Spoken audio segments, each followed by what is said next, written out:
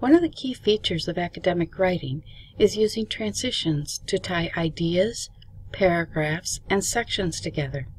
We carefully lead our reader from one idea to the next using transition strategies.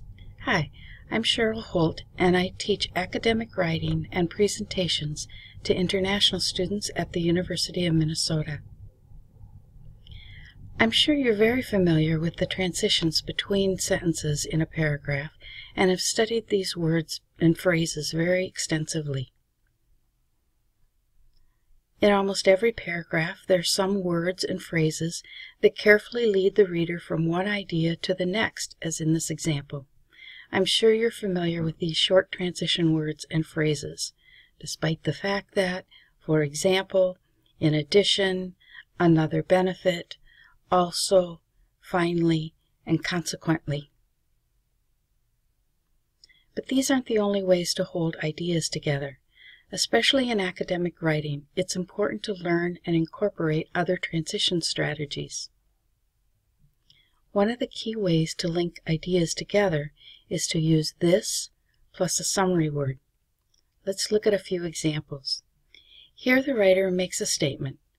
The country recycled less than 40% of its plastic waste in 1996 compared to just over 75% in 2012. The next sentence links to the previous sentence by summarizing the key point this increase. It's not appropriate to just say this. This what? We provide a summary word to help the reader easily understand the connection. This increase. Let's look at a similar example.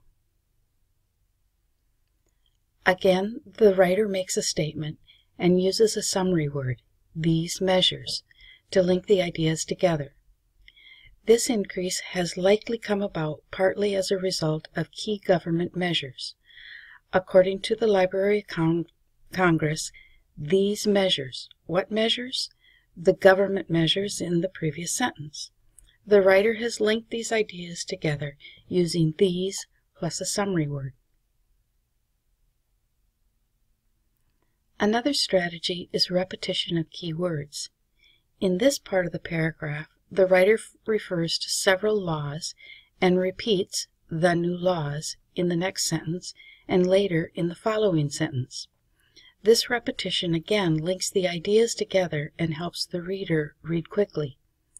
Although you may have been taught not to repeat words, using the same word again and again, it provides coherence or unity in a paragraph, and even in a section, and helps the reader understand the connections.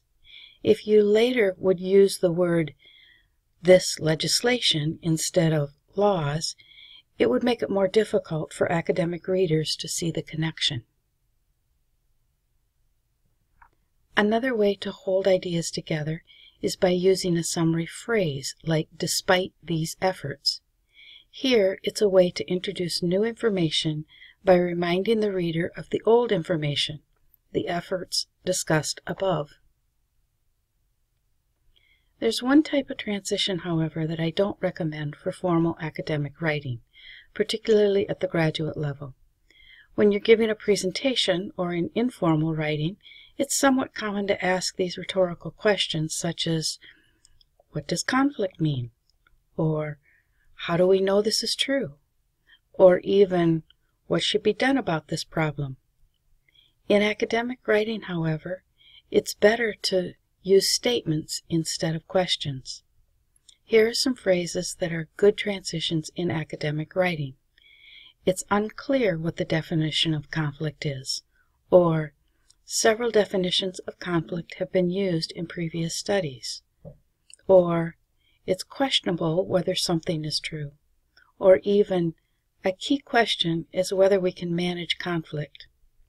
However, if you're in social science or business or writing more informally, you may use these question transitions more often. You can find more information in the textbook and by going to this link for a phrase bank. Be careful, this is a British based phrase bank, so there are some British based words. Uh, if you're publishing in the U.S., be careful of the words. Also, as you're reading in the journals of your field, Pay particular attention to how transitions and transitional devices are used.